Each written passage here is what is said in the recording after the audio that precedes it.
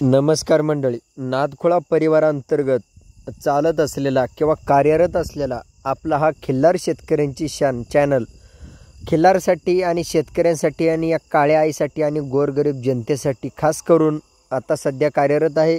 तर ज्यांनी कोणी अजून हा आपला चॅनल सबस्क्राईब केला नसेल तर सबस्क्राईब करा. ज्यांनी कोणी हा शेअर केला नसेल तर शेअर करा. ज्यांनी कोणी लाईक केला नसेल तर त्यांनी लाईक करा.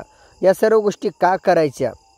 तर आता सध्या जुन्या गोष्टी लोप पावत चाललेल्या आहेत आणि त्या जुन्या गोष्टींची चव आपल्याला समजली पाहिजे किंवा जुन्या गोष्टीमध्ये काय चव होती ती चव आपल्याला माहीत झाली पाहिजे किंवा जुनी मंडळी जी काय होती ती काय बोलतात किंवा त्यांची माहिती कशा प्रकारे सांगतात किंवा त्या जुन्या गोष्टीमध्ये किती चव होती त्यावेळेचे खिलार किती अशी कार्य होते देखणे होते काटाळ होते. तर या गोष्टी माहीत होण्यासाठी नादखोळा परिवार हा काम करत आहे आणि त्या गोष्टी आपल्या कॅप्चर करत आहे.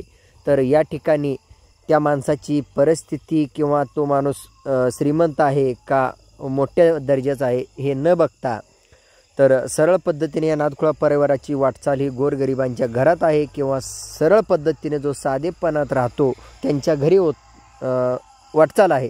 तर त्या गोष्टी आपल्याला बघण्यासाठी अतिशय सुंदर द- नजारा आपल्याला बघायला मिळणार आहे.